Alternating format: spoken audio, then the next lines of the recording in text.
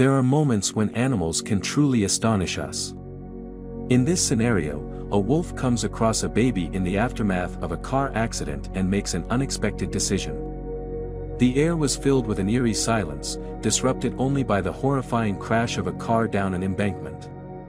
The vehicle had suffered a blown tire, causing the woman driving to lose control. It veered off the road, rolling down a short hill. Amid the chaos, the woman was thrown from the car, accompanied by the sounds of metal breaking, a baby crying, and shattering glass. The car eventually came to a halt and an unsettling quiet settled in, even the baby had stopped crying, seemingly in shock. The woman, groaning in pain and unconscious, was unable to focus on her surroundings. The air was thick with smoke, and the car seat, partially ejected from the vehicle, still held the baby, fastened onto it as it lay on its side. Suddenly, a wolf emerged from the woods, sniffing the air, and approached the injured mother. Detecting the scent of blood and her deteriorating condition, the wolf then turned its attention to the car seat near the smoking vehicle. With the smoke intensifying, the wolf gripped the car seat and tugged at it, prompting the baby to cry once more. As the wolf examined the baby, the mother stirred from her slumber, catching a glimpse of the massive wolf standing near her child. She then noticed the wolf's exposed teeth, a menacing sight that left her on the verge of screaming. However, she lost consciousness again. Unseen by the woman, the wolf diligently gnawed at the straps holding the baby in place. Once freed, the wolf gently lifted the baby by her clothing and carried her into the woods.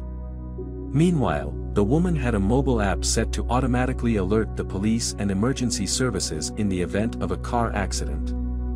Help was on the way, arriving just in the nick of time to witness the car starting to ignite and burn in the wooded area. Simultaneously, they dispatched a search and rescue expert named Nolan Stevens, the first to arrive and promptly spring into action. Nolan hurried towards the vehicle, attempting to inspect the inside for survivors. However, the raging fire prevented him from getting too close. Being a seasoned veteran, he wasn't one to easily back down, and he might have considered forcing the door open.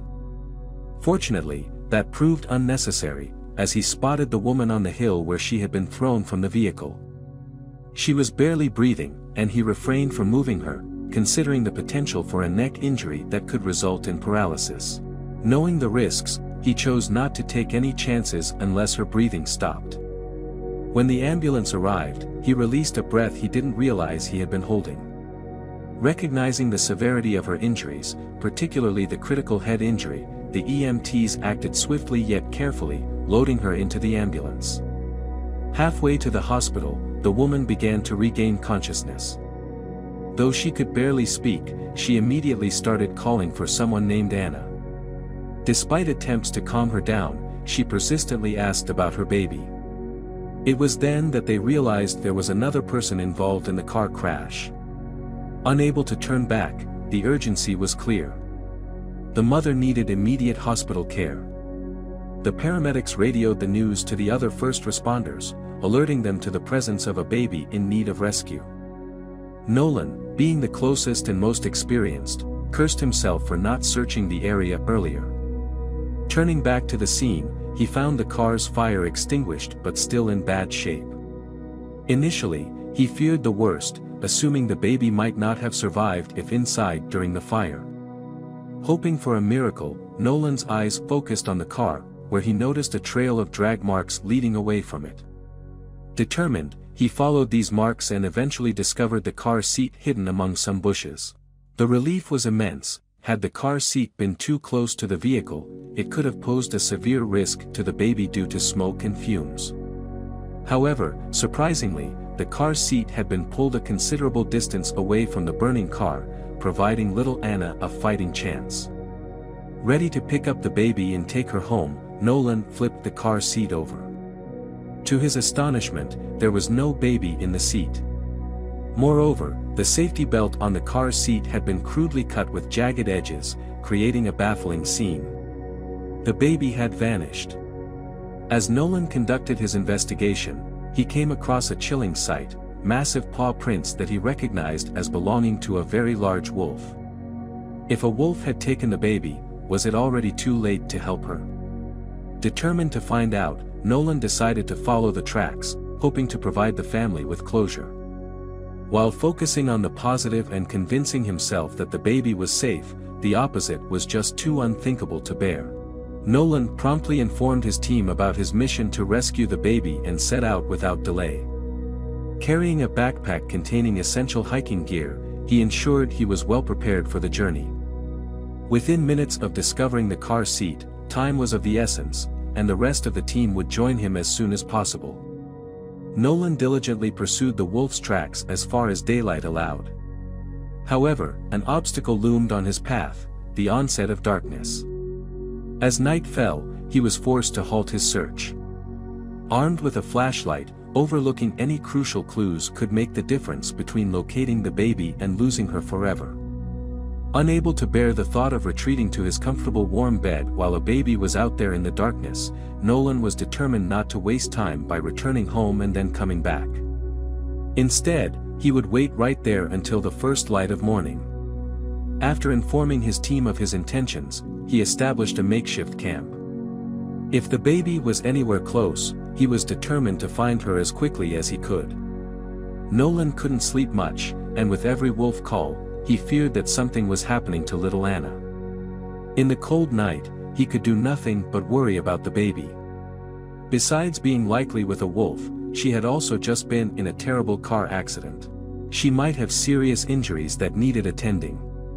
It was a bad situation all around.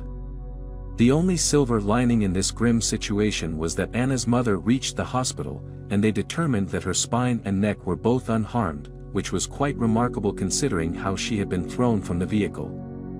However, they did discover that she had suffered severe head injuries. The doctors had to make the hard choice of putting her in an induced coma, allowing her to heal. The doctors were very concerned about the bad shape she was in. In some small way, Nolan was grateful that they didn't have to tell a mother that her baby was lost in the woods or that wolf tracks were their only lead to find her. For now, the mother was in blissful ignorance of the danger her baby was in. But the rest of the family weren't as lucky. Anna's father just wanted to go out and find her himself. They assured him that more experienced professionals were handling the situation. The best he could do was to stay by his wife's side and be strong for her. It was hard. Nolan had been on many rescue missions, both when he was in the service and while doing search and rescue, but this was the most worried he had ever been. In most instances, he had searched for adults or, at the very least, teenagers who could make some efforts to survive until they were located. However, in this case, they were dealing with a helpless baby, not even a year old, who had no means to care for herself. She relied entirely on them to rescue her, and they would need to do it fast. He was going to do everything in his power to make that happen. The moment that it was light enough to see, he set off again. The day was cold, but Nolan didn't want to think of what that could mean for the baby. The wolf tracks led him past a few dens that he knew had been used by the wolf family in the area in the past. There were a lot of tracks overlapping each other. Nolan had to be careful. He was very experienced, but he was just one man. In the event of a wolf pack attacking him, Nolan knew he wouldn't stand much of a chance. Moreover, if the wolves sensed any threat to their offspring, they would likely react aggressively. But he wasn't thinking of his own safety. He needed to locate the child with trembling hands and a heavy heart. Cautiously, he illuminated the den with his flashlight, anxious about both the wolves and the potential discoveries he might make. Finding the baby was his priority, yet he was also fearful of what condition she might be in. Would this accident leave lasting scars on their hearts? It was a possibility he could not ignore, but he had to push through his own feelings and continue. The first den was abandoned, with even spiderwebs at the entrance. The wolves hadn't been there for a while. He checked all the dens in the area, realizing that it had taken away some precious time he should have used to search for her. Going past those dens added another complication to an already horrible day. The overlapping paw prints made it challenging to figure out which belonged to the wolf he had been tracking. Losing the tracks now would be the end of any hope they had left. Returning to the last point where he had seen the tracks, he carefully moved forward, ensuring he kept track of the wolf he was following. Eventually, he emerged from the other end, still recognizing which paw prints to look out for. As he moved further, the terrain became more familiar, an area he had explored before, saving teenagers on an adventure in these woods. The woods seemed deceptively easy to navigate, but if one wasn't careful, they could lose the trail and get completely lost. There were cabins around the area with basic supplies for emergencies, but that didn't help Nolan now. The tracks didn't lead to the cabins, instead, they took him up into the mountains. The realization hit him when he started to recognize the destination, a remote cabin in the woods usually occupied by park rangers and occasional biologists. Wolves are typically shy, so it was strange that this one was heading straight towards people. The worst part was that the cabin had been abandoned for months. Nolan moved faster with a good idea of where he was going. The wolf had found the baby after the car accident and brought her into the woods. The unthinkable was about to happen as he reached the clearing where the cabin stood. There, on the porch, he found something that would change his outlook forever. Expecting to find a wolf that had harmed the baby, Nolan saw a wolf napping in the sun, with a tiny baby tucked in its side.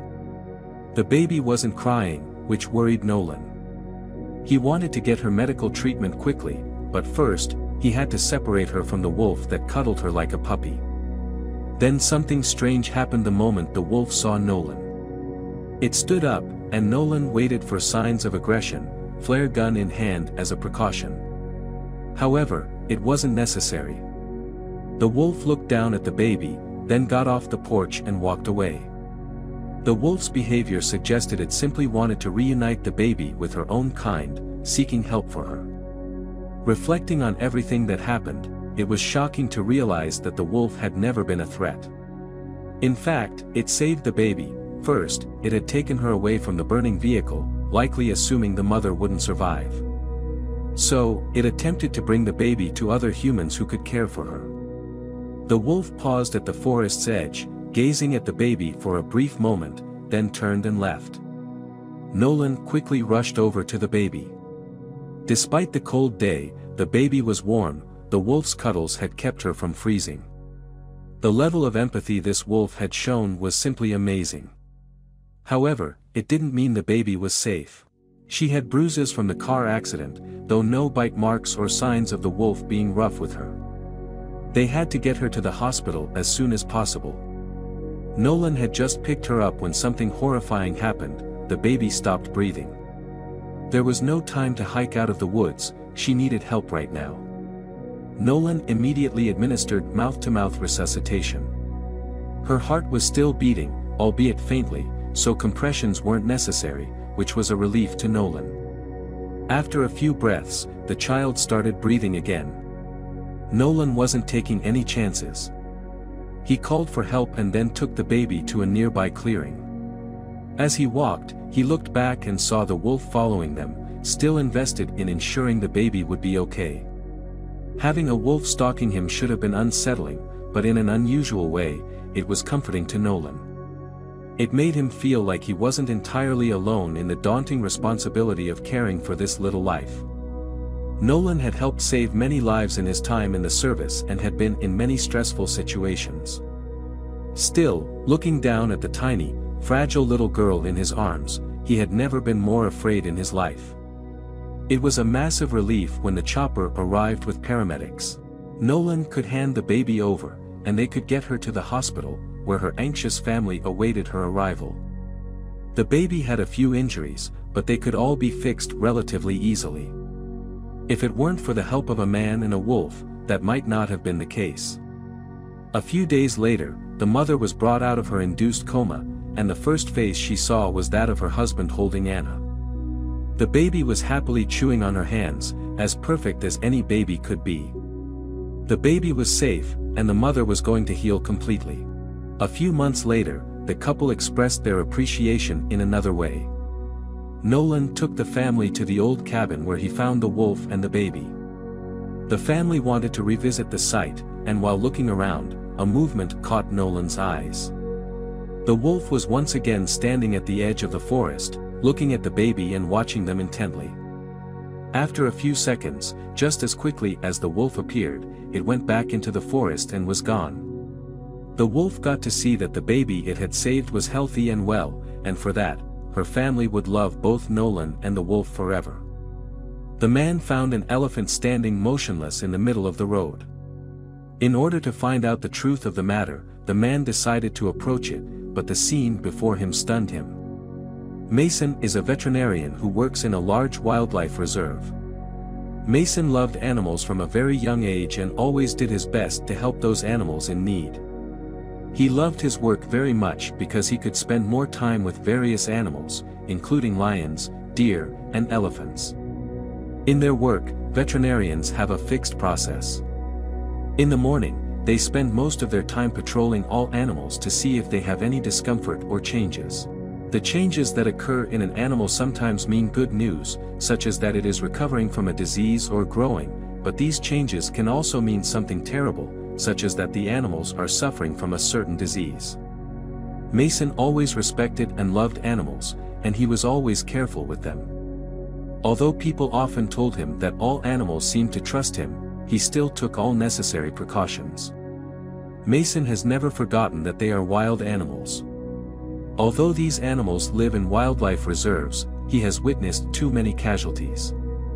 After a routine examination, Mason likes to do something meaningful, such as traveling alone. On a trip, he discovered a secluded mountaintop.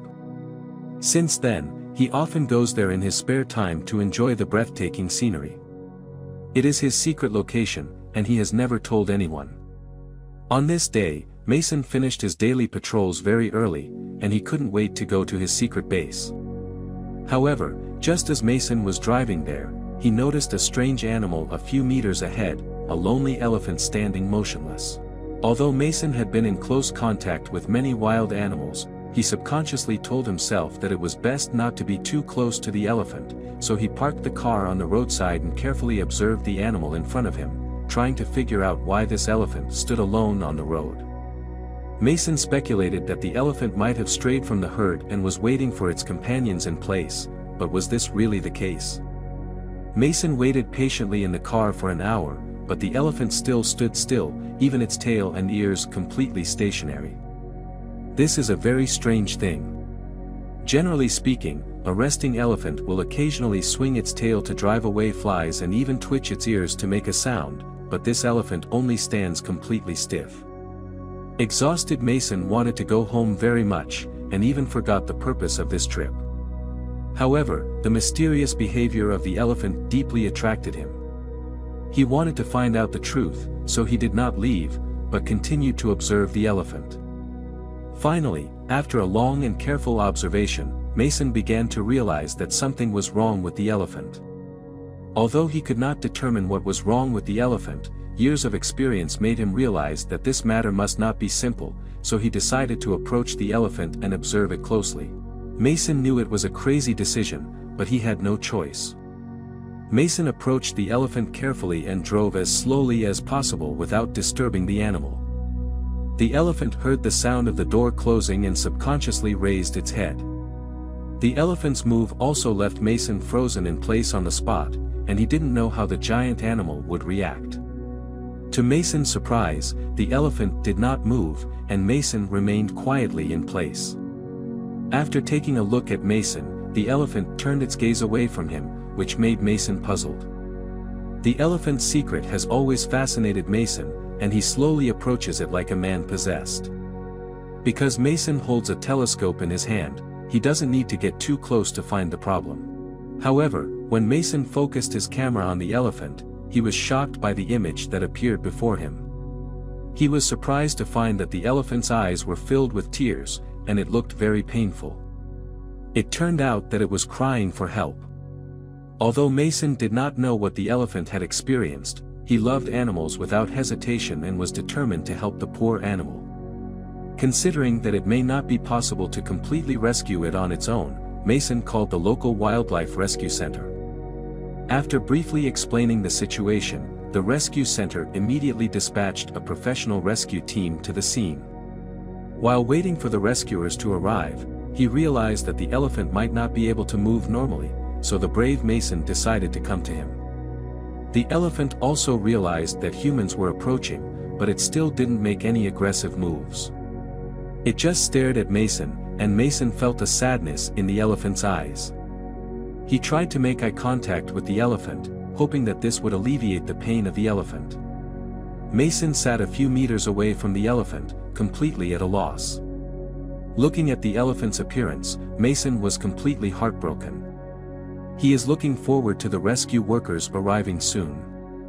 As time passed by, Mason finally heard the sound of the engine. He looked in the direction of the sound, and it was indeed the rescue workers' car.